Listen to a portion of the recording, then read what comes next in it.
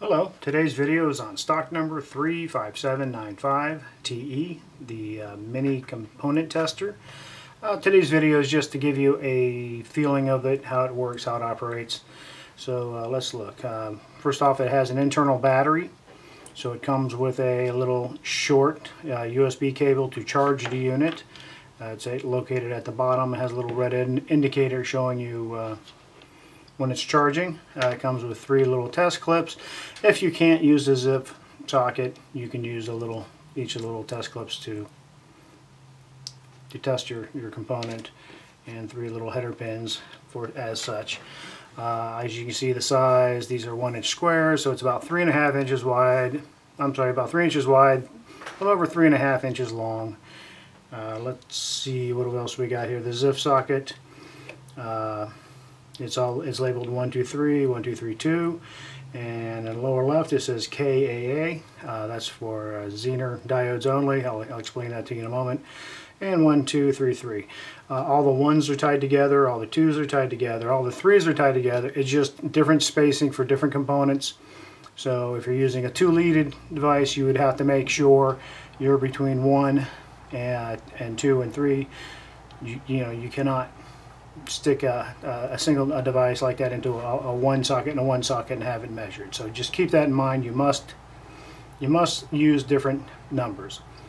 Okay, first thing I like this is the on off. You can turn it on.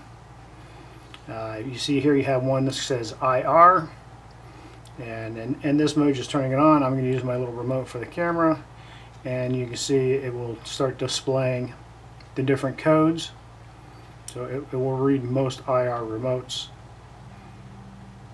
That's another button. And you can you can you can test remotes with it.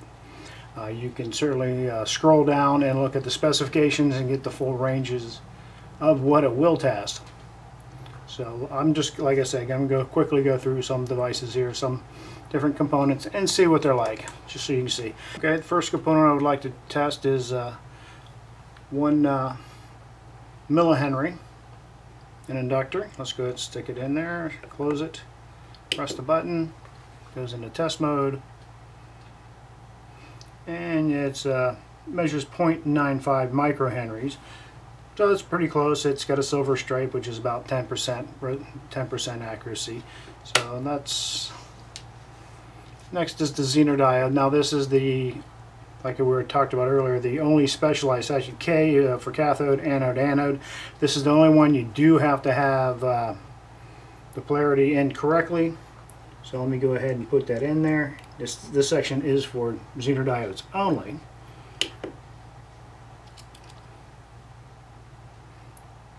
As you see it tested, it, uh, Zener recognized it. 7.45, yes, that's a 7.5 Zener diode. Okay, next one would be just a standard 1N 4007.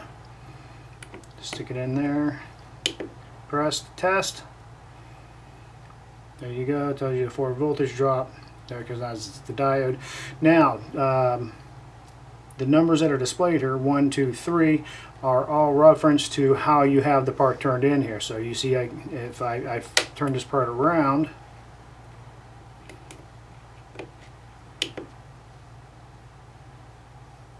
Now you see it's pointing the other direction. So just keep that in mind.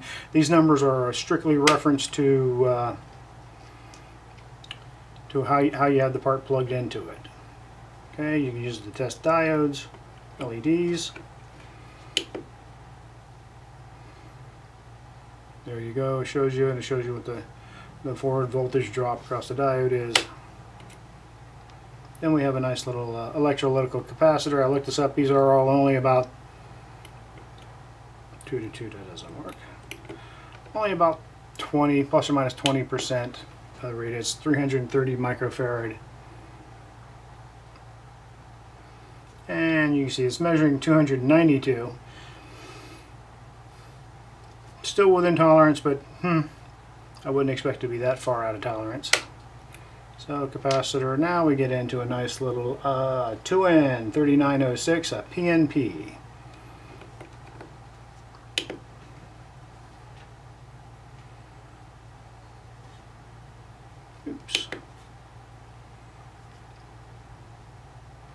And you can see it recognizes PNP.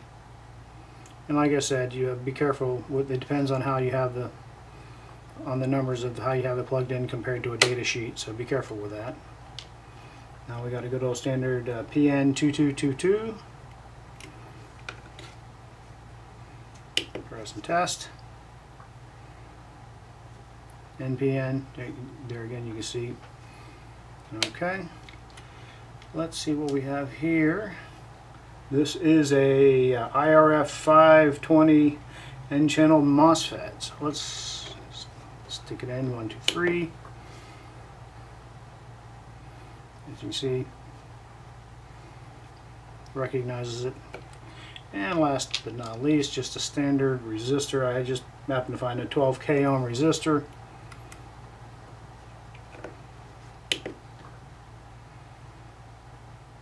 Yeah, 11.93 k ohms. So 12k resistor. Okay, I think that covers most of the operations. I think it'll give you a good feeling of how it works, how it looks. A nice color LCD, which they say is 1.8. Let's see how, how they, they measure those diagonally, don't they?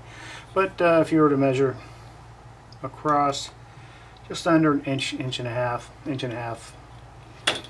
Okay, I think that will cover most of uh, most of the testing. Uh, some of the parts I just didn't couldn't find readily what time of making this video. So, have any questions? Let us know. And thank you for watching our video.